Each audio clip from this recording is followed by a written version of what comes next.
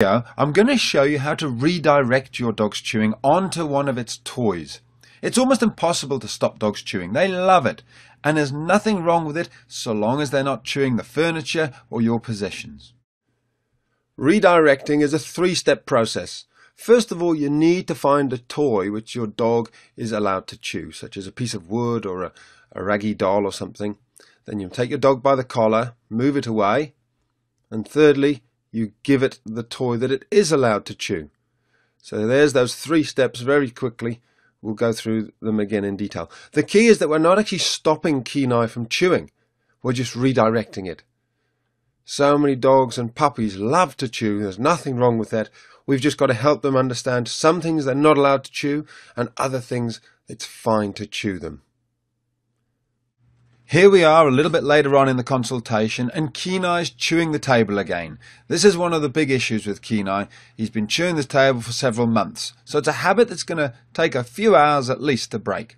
All we do is move him away very quietly and calmly. We don't give him any attention by speaking to him, and we simply redirect him back onto his stick. And look how quickly he trots off with it this time. Again, Kenai just needs to be shown the correct way to behave. He doesn't need to be shouted at, he doesn't need to be tapped on the nose. He just needs to be shown a kind and gentle way to behave correctly. As with all things, practice makes perfect. So take your time, stay calm, and just keep giving your dog the same calm, consistent consequences of actions. And your dog will get it in the end. If your dog insists on chewing the couch, after you've redirected them onto their little chew toy, then you can consider putting them into an isolation. You leave them there until they've stopped barking, and when they come out, they'll think twice about going back to chewing the couch.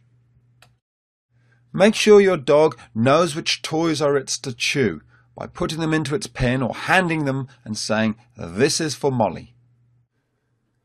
Distraction is another word for the simple method that we've just gone through.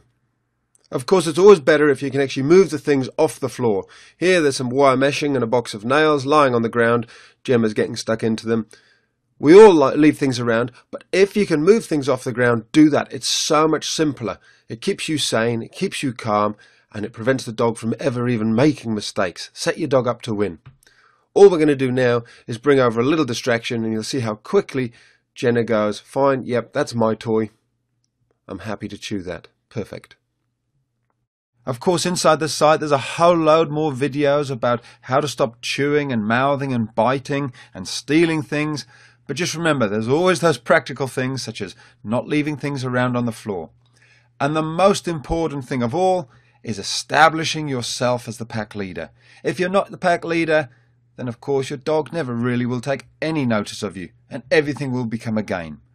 That's all covered off inside the onlinedogtrainer.com. I hope you join us.